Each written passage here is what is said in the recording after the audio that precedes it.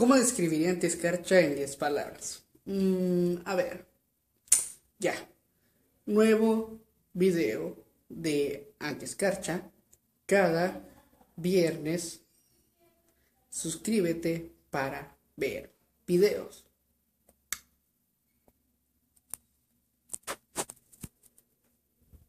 Nos vemos este viernes.